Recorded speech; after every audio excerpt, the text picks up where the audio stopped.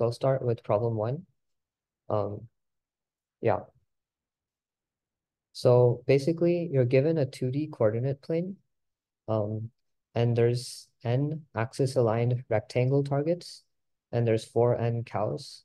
Um, and each cow must be assigned to a different target vertex. Um, yeah, and basically each target appears, well, just like draw on the side. And there's four cows assigned to each target, right? Um, so there's a bunch of targets that appear. And yeah, there's four cows that are assigned to each target. And each cow is on the y-axis. Um, and it has some kind of slope. And it hits the target with that slope, right? Um, and the cow is not allowed to pass the interior of the square that it's hitting. So if the cow, um, yeah, so if the beam is like this, it'll hit the interior. So this kind of not allowed, right? So each cow has some kind of slope with which it hits the target. Um, and you have four n cows, and each one has some predetermined slope. Um, and you want to assign the cows such that the difference between the top, yeah, the, the difference between the max y coordinate and min y coordinate are minimized. Um, yeah. Uh, and here we have n is up to like 4 times 10 to the fourth. Um, yeah. Um, and the slope can be up to 10 to the 9. Um, yeah. So, um, yeah. So there are a couple observations we can make. Um, so basically, if, uh, yeah. So if, yeah. Yeah, so I'll move to my OneNote.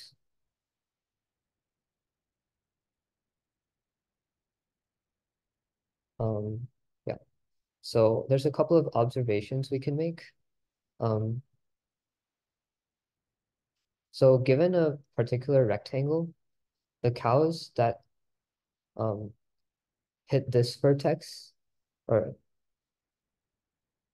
actually just the cows that hit the top right vertex or the bottom right vertex, there's a certain kind of uh, property for them. So this cow needs to have negative slope.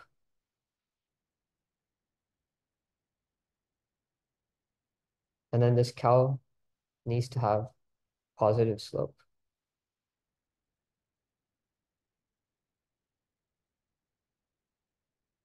Right. Um, and then finally, uh, we want to minimize the difference between the max coordinate and the min coordinate. And we have the property um, in the problem that all of the uh, x coordinates of the left edge are equal. So the squares, their left coordinates lie on, um, this, they have the same x value, right?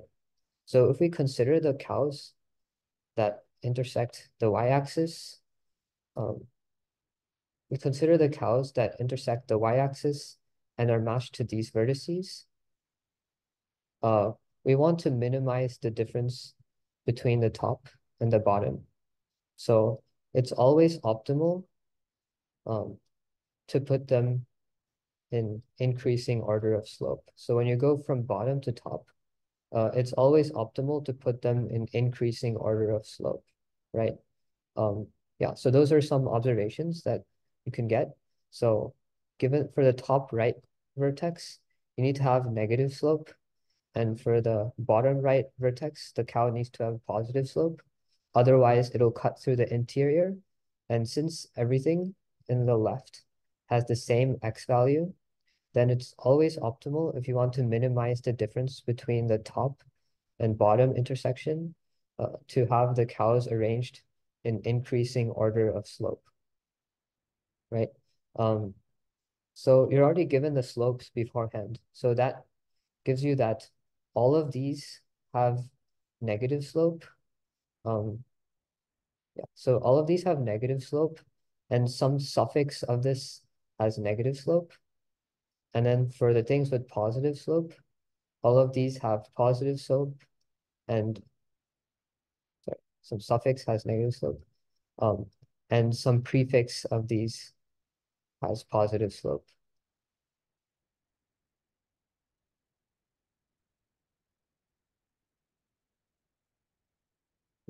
Yeah, so now we have this observation.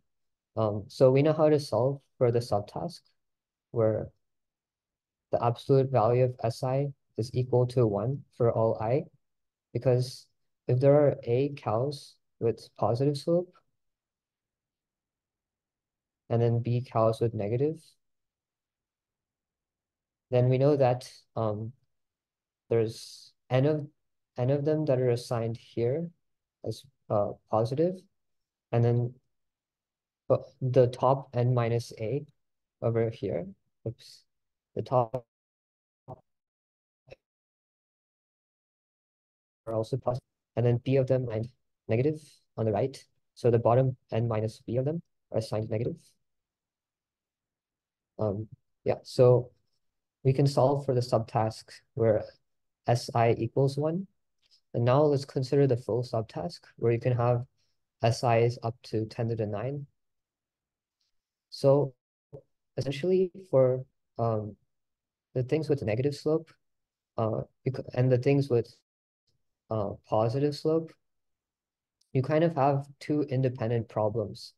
So you want to, uh, yeah, so for the things with negative slope, uh, you want to uh, maximize the minimum intersection. So there's two things, right? So negative slope, oh, I, I guess it's positive slope. Positive slope. Um, these things are basically going downwards from the right. Um, you want to minimize or you want to maximize the minimum intersection.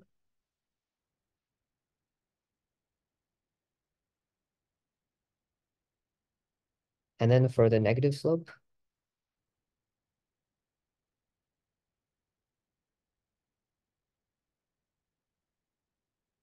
uh, you want to minimize um, the max intersection. Um, yeah, uh, I mean the max intersection with the y-axis, which is precisely the location of the cow.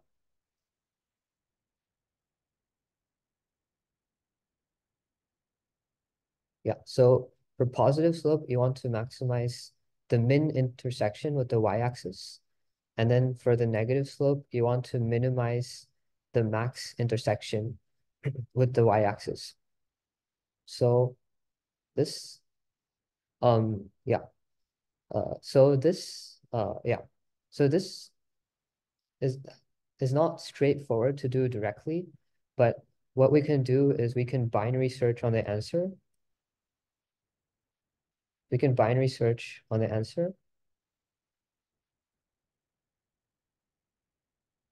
So yeah, so now we've split it into two independent problems. So we're only dealing with the vertices that have positive slope and the ones that have negative slope um separately. So let's uh yeah, consider the things with positive slope. And we want to binary search on the um small uh the intersection of the lowest one, right? So we want to check if we can make um, all intersections greater than or equal to x.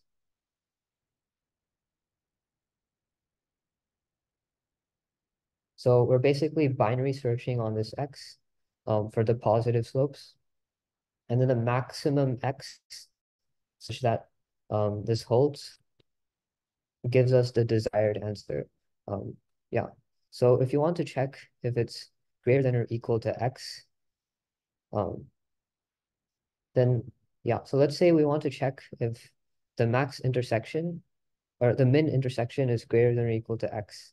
Um, if it's possible to have some kind of arrangement, right? So basically we have, uh, yeah, um, so for each point, so we're only dealing with the red, um, the things that, that come from the red points, right? So for the red points, we have an upper bound on the slope um, if we don't want to cross this. So basically all of these things with positive slope, we have an upper bound on the slope of what comes from here. So basically we have the slope can't be greater than or equal to a certain amount. So you have like all these upper bounds, right? So A1, um, A2, A3, up to AK. So you have upper bounds on all the slopes from A1. Um, so if we want to check if um, we can make all the intersection values be greater than or equal to x, uh, we can basically have upper bounds on all the slopes. And you can assume that uh, these are all sorted. And then you take the actual positive slopes um, values. Um, yeah, so you take the actual positive slope values and you see if uh, you can actually satisfy these upper bounds. And the way to satisfy these upper bounds is you sort the actual positive slopes to B1, B2, B3, up to BK. Um, so just a reminder, these are the upper bounds for positive slopes. And these are the actual positive slopes.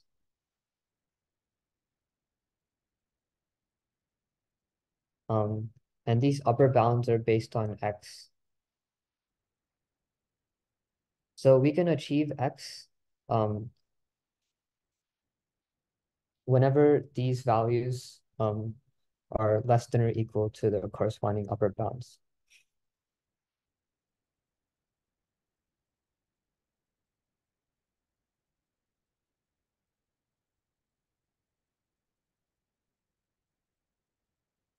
Um, yeah, so why is there an upper bound on the slopes? Um, it's because we, we're binary searching on the minimum value, right? So we want to check if we can make all the intersections of the positive slopes be greater than or equal to x. So let's say that,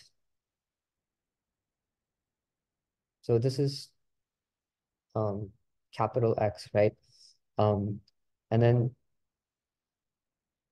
yeah, um, you want to check if this intersection will be greater than equal to x.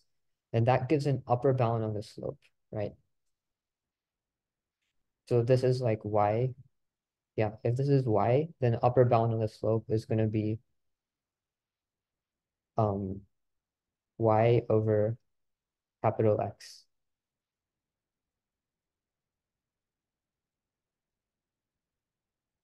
Uh, is the upper bound the slope of the line between the vertex of the target and the cow located at x.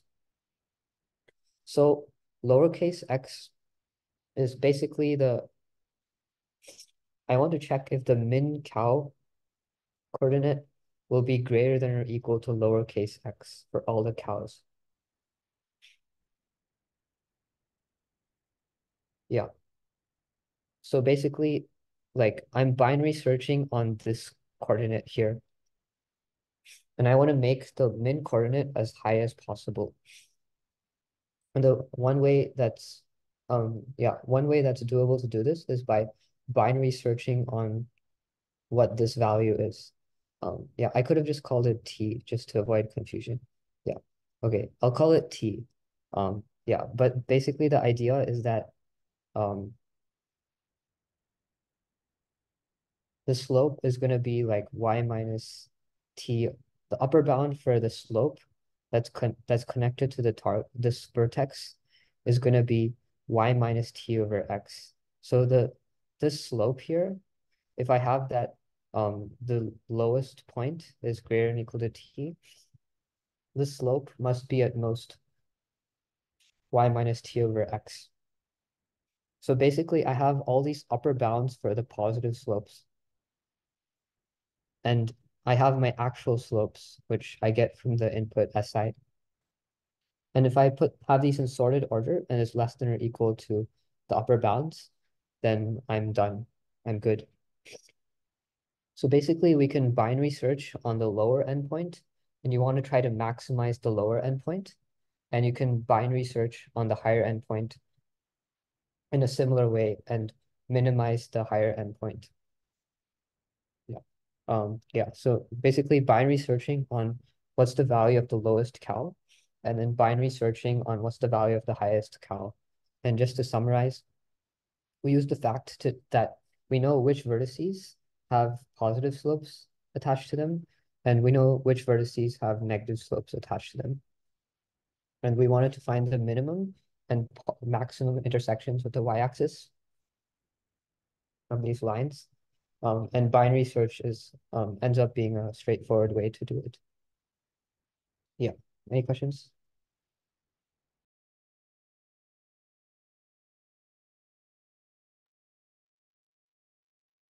Okay.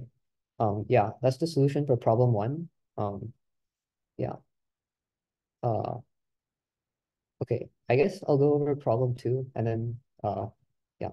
Um, and then we can have the problem, sorry, sorry, I mean problem three, and then we can have the um problem two explanation after that. Why did, how does the, is this the hardest problem? I personally thought two was the hardest problem, but I think this certain parts of the problem that are hard are like, I guess one one part that's challenging is understanding the problem statement. Um, but I think after that, just like putting the pieces together,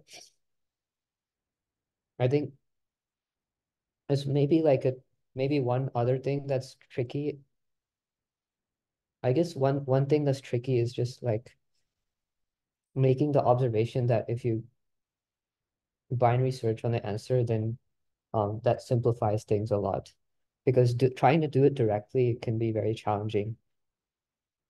Like if you're given the po positive slopes and you want to maximize like the minimum value, um, it's it's not clear how to, I don't know, it's not like super clear how to do it directly, but uh, binary searching on the answer like um, simplifies that. how does the minimum y guarantee that the max y will be minimum? Um, yeah, so we know that uh,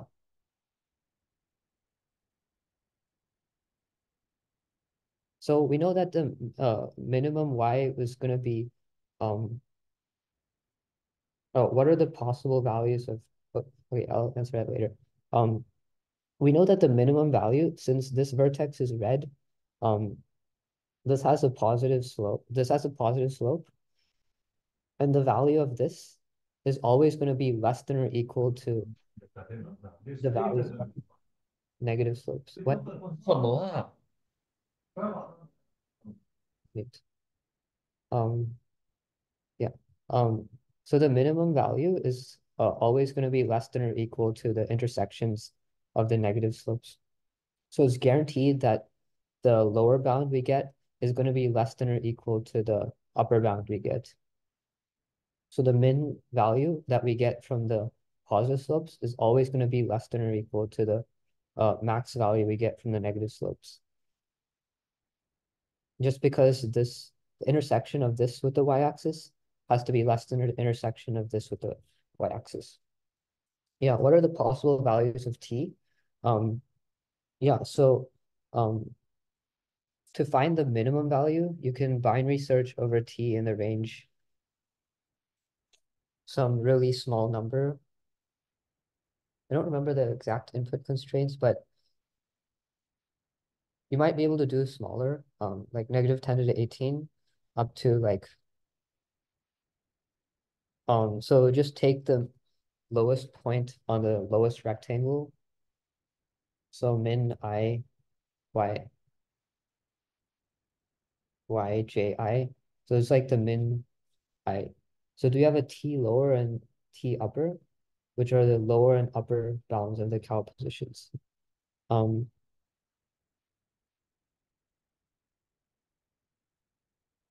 yeah, so you have like t lower, which is the lower bound um, for the minimum y. and then you have t upper, which is the upper bound for the maximum y.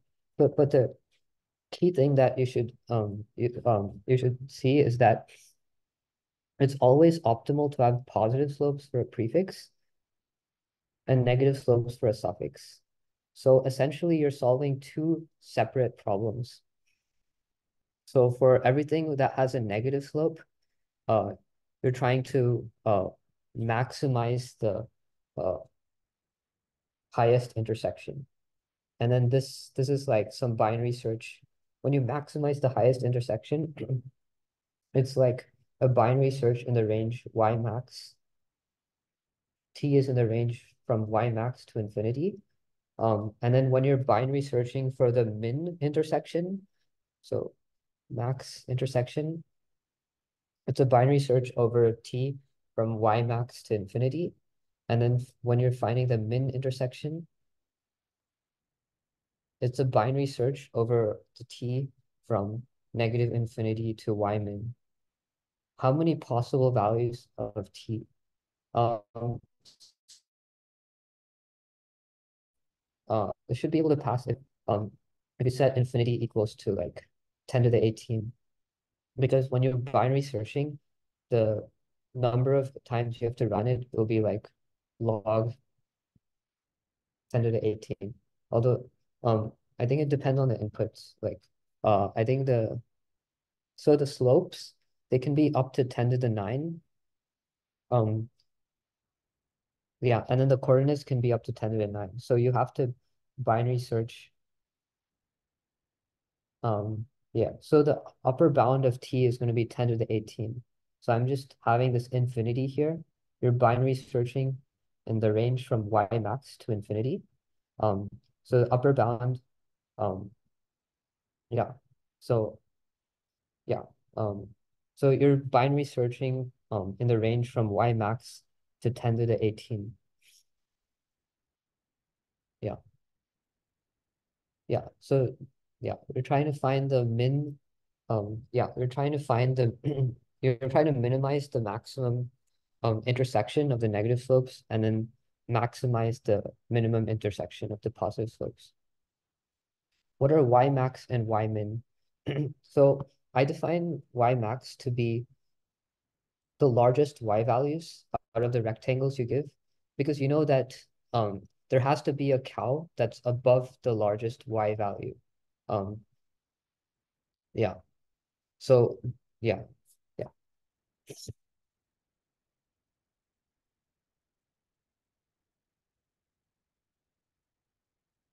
Yeah.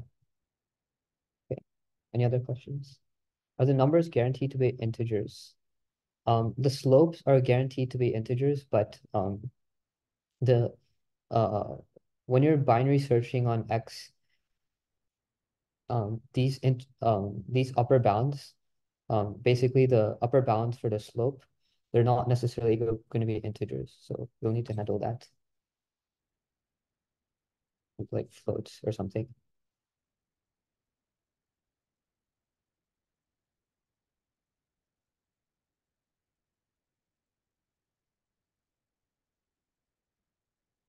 Yeah, I'll move on to problem three.